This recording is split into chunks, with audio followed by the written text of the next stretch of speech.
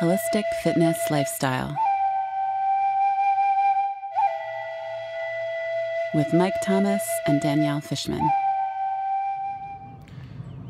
Good morning, all. I'm Mike Thomas, and today I am present to gratitude for the healing power of laughter, especially spontaneous and unexpected laughter. If you watch this video and don't think I'm a little crazy, I might be a little worried about your sanity. So, what I'm getting at here is that there's this phrase called fake it till you make it. I think it works really well with laughter. Yeah. So, you just pretend that you're happy and you're laughing, and it's a little bit contagious. It's also pretty healing.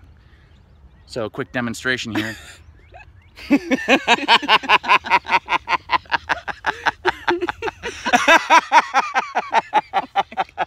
you see, it was fake in the beginning, but then it became real.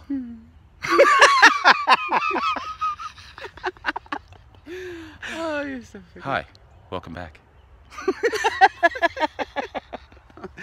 so, enjoy the healing power of laughter.